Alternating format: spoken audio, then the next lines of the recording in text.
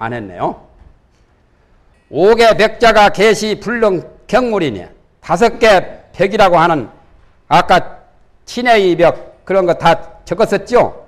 천호의 벽, 유경의 벽, 예경의 벽, 오타의 벽 그거 다섯 개 벽자가 다 이 능히 경물을 하지 못하면 경물을 했다면 벽이 될 게 없죠. 그러니까 공부를 하는 사람도 벽이 있으면 안 돼요.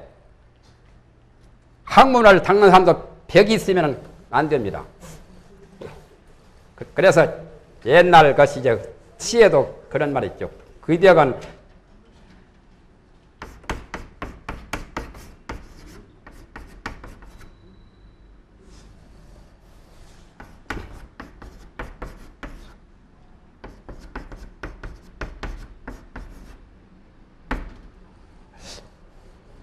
이렇게 쓰던가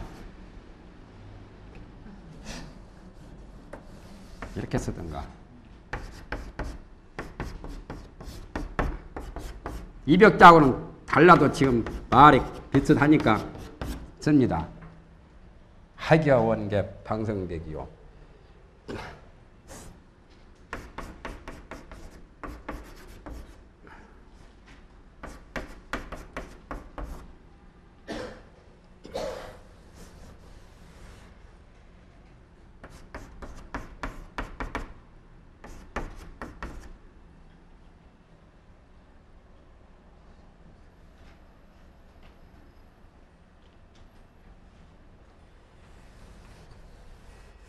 하격 원계 방성되기요 치도 상여 아, 뭐라는 말이 있는데 에이 그냥 이건 놔두고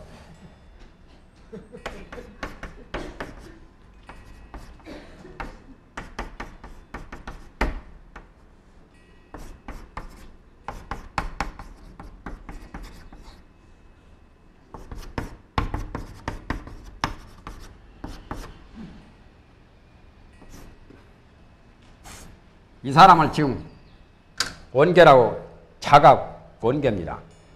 두예라는 사람이 이자는 이렇게 해도 쓰지요.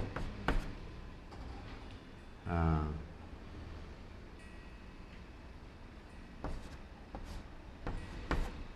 이런 자도 있죠. 이렇게도 쓰고 이렇게도 쓰던데 성은 두시고 이름은 얘인데 그 사람이 춘추 좌전, 춘추 좌전의 그 주를 굉장히 잘했습니다. 지금 그 춘추 좌전 보면은 이 두의 주를 보지요. 좌전 주. 그러니까 공자 지은 춘추. 춘추를 좌구명이 쓴 것을 좌전이라고 하거든요. 좌전 주를 했던 사람이라요. 아까. 그러니까 학문도 원계와 같더라도 바양으로 벽을 이룬다. 두에는 두에란 사람은 평생에 자나 깨나 안지나 누구나 평생 동안 좌전 벽이 들었어요. 춘추 좌전만 들고 있어요. 중국 열국지에 나오는 중국 춘추 전국 시대 공자 지은 춘추 역사지요. 그것에 벽이 들었어요. 벽이라 것은 그것은 못쓸 병이죠.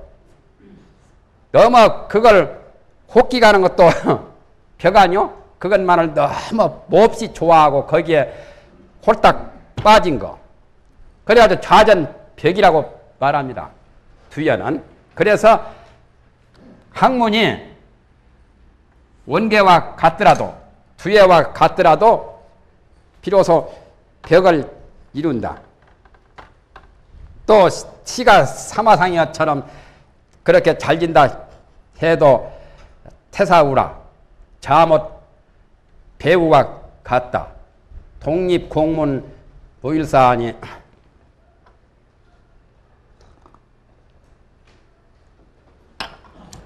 독특 안연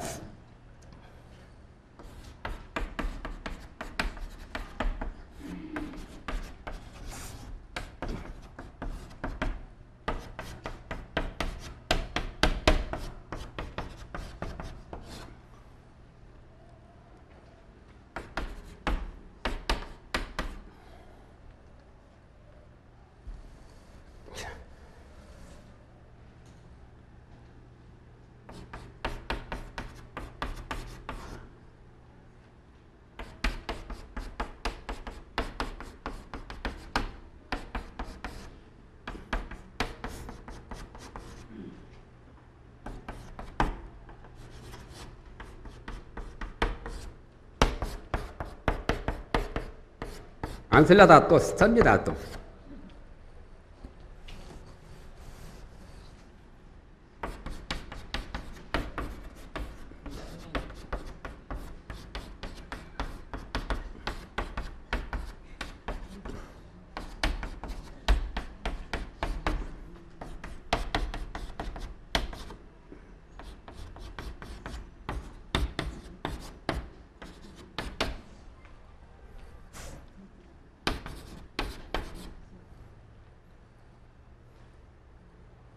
이제자 바로 이제자요.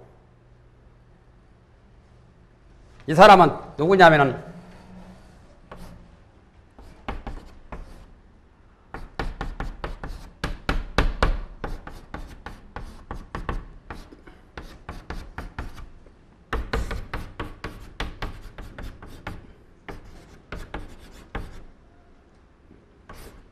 한나라 때입니다. 바로 한무제 금우랩의 사람이요. 한무제 때 사마상이라는 사람이 있었는데 성은 사마고 성이 사마입니다. 이름이 상여거든. 그러니까 사마상여가 시를 잘하는 시인이요 문인이라요. 그래서 한무제에게 벼슬까지 돼가지고 대단히 참 출세를 했지만은 그 사람은 시인치고는 좀 아주 촐랑거리고 까불어가지고 배우 같아요, 배우. 그래서 그 해악을 좋아하고 농담 같은 거, 유머 같은 거, 해악을 좋아해가지고 사마상에는 항상 임금 옆에서 그 임금을 웃기게 하는 배우같이 연극 배우처럼 광대 역할을 했거든. 그러니까 시가 시를 그렇게 잘 짓는 사마상여 사마상여와 같이 거기에 사마상여에 도달을 해도 잘못했자 잘못 배우와 같다. 배우 우자입니다. 배우 우자 맞는가 모르겠네요. 맞지요? 넉넉할 우자가 아니라 배우 우자죠. 옛날은 배우는 광대라 해서 굉장히 천한 그 천민으로 취급을 했었는데 지금은 아주 인기 스타 별자리죠. 그것도 배우도 배우는 지금 굉장히 인기가 지금 세상의 세대가 바뀌잖아요. 옛날에 천대 봤던 그 존재들이 지금은 가장 아주 참 최고 인기를 독점하는 가장 최고 양반한 연장. 안방마다 다 들어가거든 배우들이. 안 들어간데 없어요. 지금은 그 방송이 방방곡곡에 다 들어가니까. 어느 집이고 배우가 안 들어간 데 없어요. 우상 출입 통행거비도 그건 없어요. 독립공문 무일사하니 홀로 공문에 서서 공자를 말합니다. 공자 문화에 서서 하나의 일도 없으니 공자의 문화에서는 공문에서는 마음자리 그 명덕을 밝힌 자리에는 본래 사유도 없고 오백도 없고 말이죠. 본래 무상하던 본래 하나의 일도 없어요. 본래 순수 이성, 본래 태평인 그 자리가 한 일도 없는 거죠. 불교에서는 본래 무일물이라고 해죠. 본래 한 물건도 없다. 본래 일이 없다. 본래 무사라. 불교에서는 본래 무사라고 합니다.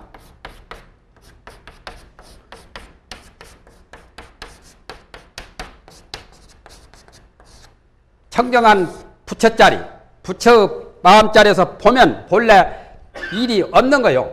고야시 사람들이 잘못해가지고 죄를 짓고 여러 가지 업을 짓고 그랬던 짓을 하다 보니까 사고를 치니까 일이 생겼지 본래 일이 없는 거예요. 가장 순수하고 가장 청정하고 가장 평온하고 가장 그 자리가 지극히 고요한 정멸 정멸 자리죠.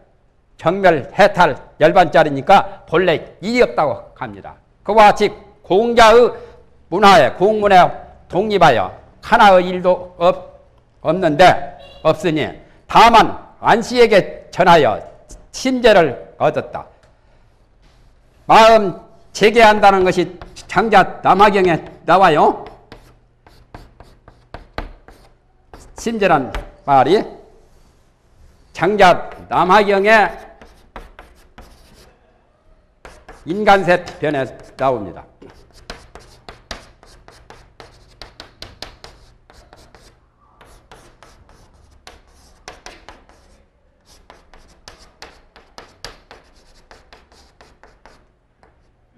인간의 처세하는 방법을 그때 가장 험난하고 가장 어려운 폭군한테 가서 자기가 이상을 패고 자기가 돌을 패려고 안연히 배설하려고 가니까 공자가 어디를 가냐고 하니까 윗나라 임금이 아주 못되는 부자간에 막 싸웠잖아요. 윗나라 그 교회하고 첩하고 유첩이라는 사람하고 부자간에 서로 임금의 자리 때문에 서로가 막 치고받고 죽이고 막 피 흘리고 막 전쟁을 일으켰잖아요. 거기 그 윗나라 임금한테 가서 그분에게 정치를 하겠다는 거죠. 안연히 공자의 제자 상수 제자 안연 성이 안씨입니다. 이름은 회가 되고 안모라고 그러죠. 원년자 안연 이게 자지요 자. 그러니까 공자가 너 그렇게 가봐야 큰 큰일 나겠다 말이죠. 갔다 하면 거 가서 죽기 마련이다 말이야. 죽게 되니까 가지 말라 하니까. 그래도 그냥 둘 수가 있습니까? 가서 그 윗나라 임금을 감화를 시켜야 되겠습니다 하니까. 너 그런 식으로 해서는 안 된다고 해가지고 마음에 재개를 해야 된다. 침제를 해라고 공자가 가르쳤죠. 그러니까 침제를 어떻게 해야 됩니까? 하니까 공자가 설명하시기를 친절한 재개를 해야 된다고 하니까 안연히 말하기를 쟤는 술도 먹지 않고 마늘파도 먹지 않고 고기도 먹지 안 해가지고 집이 가난해서 그걸 먹지 않았으니까 그게 체계를 했기 때문에 그게 침제가 됩니까 하니까 그게 아니다 이거예요. 그것은 제사 지낼 때 체계지 술 먹지 않고 고기 먹지 않고 마늘파 먹지 않고 목욕제게 하는 것은 제사 지낼 때 제게지 마음의 죄는 아니다 말이죠. 그래서 마음의 죄는 어떻게 어떻게 해야 됩니까 하고 안연히 물으니까 공자가 설명하시기를 이제 거기서 네가 의지를 하나로 해라. 너 생각을 너 뜻을 하나로 이렇게 해서 그러니까 정신 통일을 해가지고 소리를 듣되 귀로 듣지 말라 말이죠. 귀로 듣지 말고 기운으로 들으라 말이죠. 기운으로 듣지 말고 마음으로 들으라 말이죠. 그런 식으로 이제 이 설법을 했죠 공자가. 그래서 이제 그 친절을 정신 통일을 해가지고 귀로 소리를 듣는 게 아니고 귀로 듣고 기운 기운으로 듣고 기운보다 더해서 마음으로 들으라 이거요. 그렇게 되어야 정신 통일이 되어야 침제가 된다는 겁니다. 그 말을 말한 거죠. 그 침제라는 것이 여기서 말하는 성의 정심 또는 경물 지지 그게 바로 침제법입니다. 내나 장자 남화경의 도교의 공자 말씀 그 침제가 내나 성의 정심 경물 지지 그 공부라요. 그러니까 홀로 공문에 서서 하나 일도 없으니 다만 안씨에게 전하여 안씨는 안연에게 공자가 제일 상수 제자요 침제를 얻었더라 말. 그러니까 공부가 벽이 되면은 안 돼요.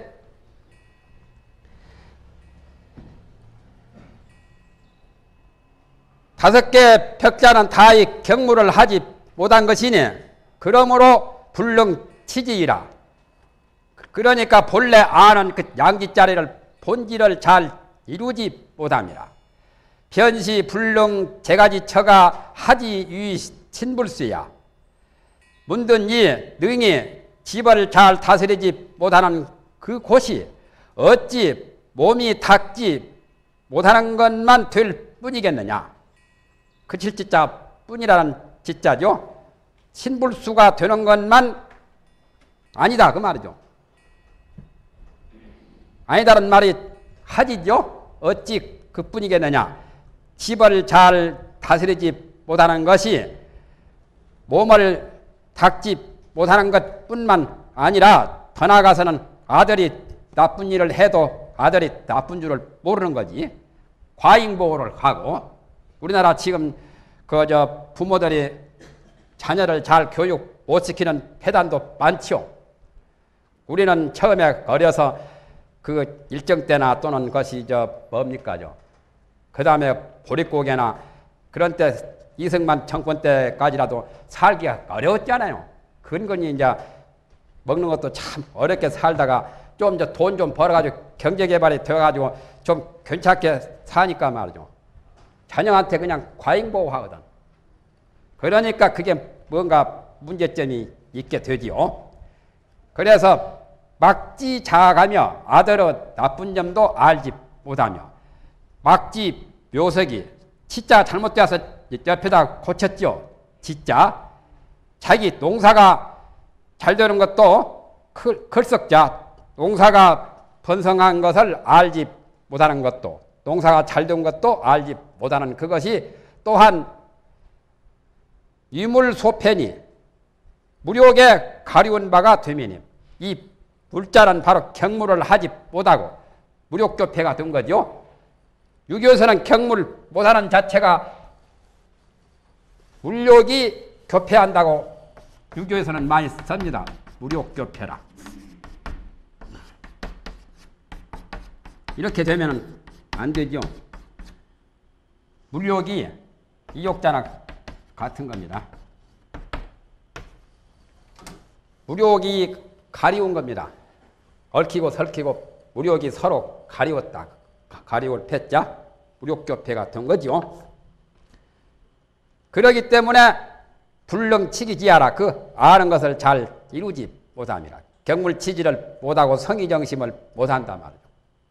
수신제가는 고사하고 후일 반결이 최의 유력이니 뒤에 한 번 반결함이 반대로 맺는 그 말이 가장 유력함이니 힘이 있으니 정현 수신이 위본이니라 바로 몸을 닦는 것이 근본이 되는 것을 밝힌 것이다.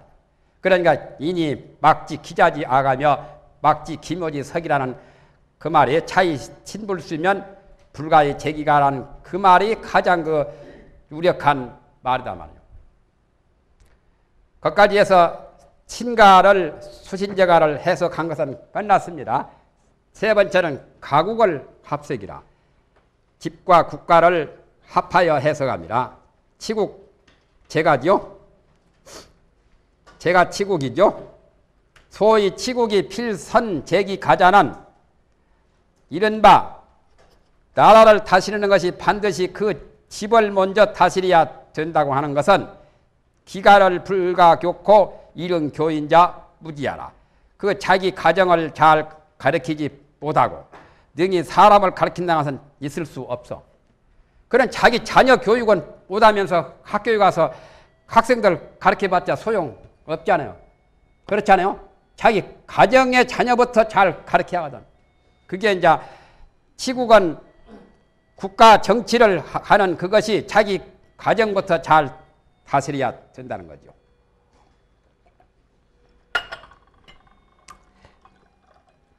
가까운 데서 먼 곳으로 가거든요. 가까운 것도 가지도 못하는 사람이 먼 곳을 간다가 또 있을 수 없죠. 그래서 율곡 선생은 이런 말을 했습니다.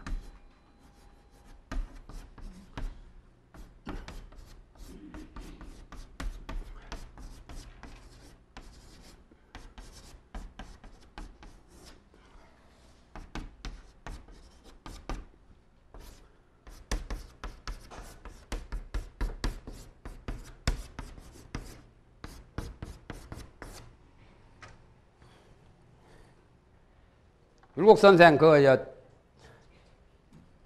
저서에 보면은 이런 말이 나, 옵니다 충신을 구워 효자지 뿐이라. 충신을 나라에서 구하려고 하지 말고 효자의 가문에서 충신을 구해라 말이요. 그러니까 효자일 수 있는 사람은 부모에게 효도를 잘한 사람은 국가에 가서 정치를 해도 나, 나라의 충성을 다하거든. 그러니까 벌써 그마치 수양이 된 사람은 어디 가나 다 그렇게 되는데 수양이 못 된 사람은 어디 가나 뵐 수도 없어요. 그렇기 때문에 충신을 나라에서 구하는 것보다도 먼저 효자의 그 가문에서 구해라 말, 찾으라 말.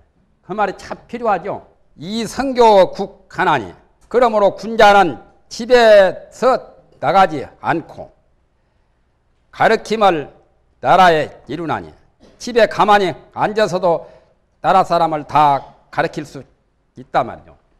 옛날에 백의재상도 있죠. 백의재상 같은 것도 그런 거죠.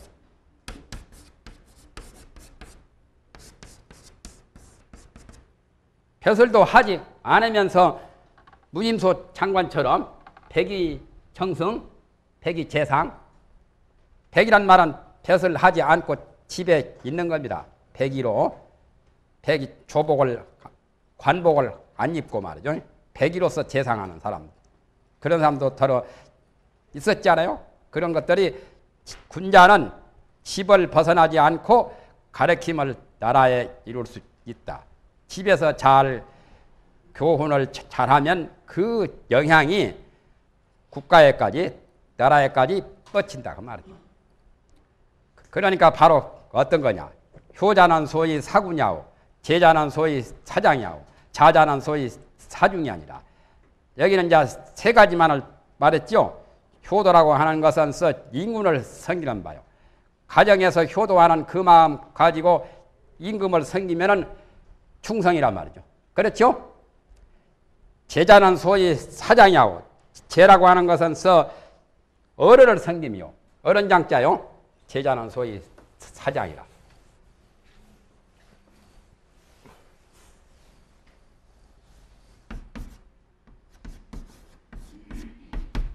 이자나 이자나 통합니다. 이런 효제 충신 할 때. 이제자 공손할 제자죠 공손제자 형제간에 우애를 하고 형이나 어른을 잘 받들고 공경하는 것을 제라고 합니다. 서울에 가면 효제동이라는 동네도 있어요. 효제동, 홍제동, 효제동, 또 명륜동, 윤리를 밝힌다. 명륜. 우리나라에도 여기도 부산에도 것이 명륜동이 있죠. 동래구에. 예? 효도라고 하는 것은 효도하는 그 마음 가지고서 임금을 섬길 수 있고 임군을 섬기는 바요. 공손 제자요. 공손 제자. 공손이라고 하는 것은 서 어른을 섬기는 바요. 어른은 바로 형님이나 누구나 다 어른들이죠. 자자는 소위 사중이 아니라 인자한 그 마음은 서 대중을 다 부리는 바이니라. 부릴 사자. 여러 무사람들을 부하를 부릴 수 있단 말이죠. 그러니까 집에서 효제 자 가지고 집의 가정의 가정에서 효제자를 가지고서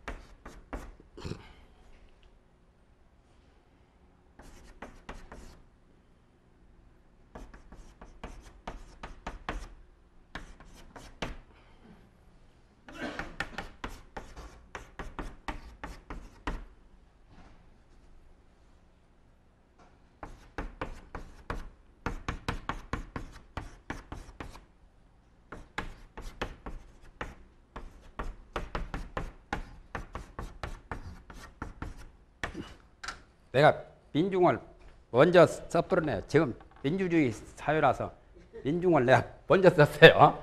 가정에서 효와 재와 자를 가지고 자로서 나라의 민중과 또는 어른들, 상관들, 장상과 장상을 그러니까 임금까지 다 포함이 되죠.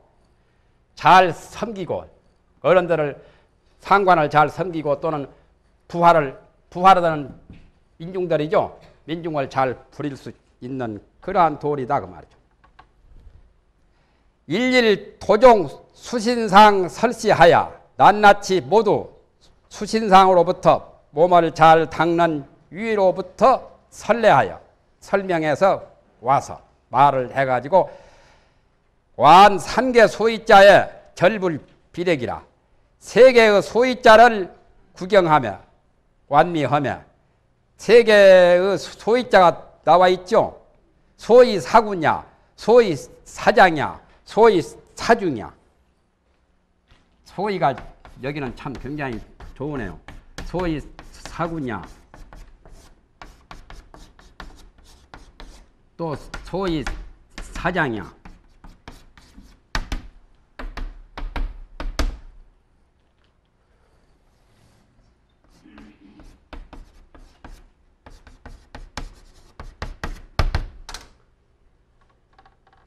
맞죠? 예? 이것을 말합니다. 세 개의 소익자가 삼개 소익자.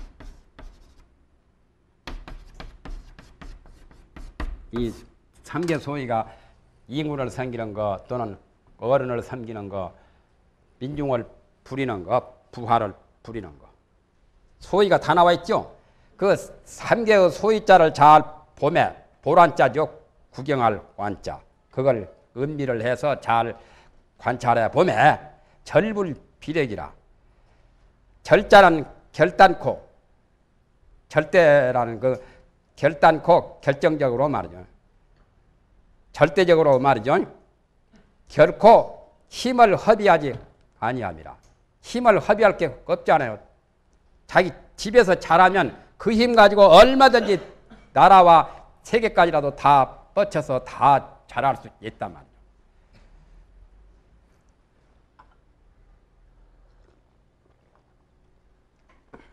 어려울 게 하나도 없어요. 자기가 실력만 있으면 그 실력은 어디든지 다 실력 발휘를 할 수가 있거든요.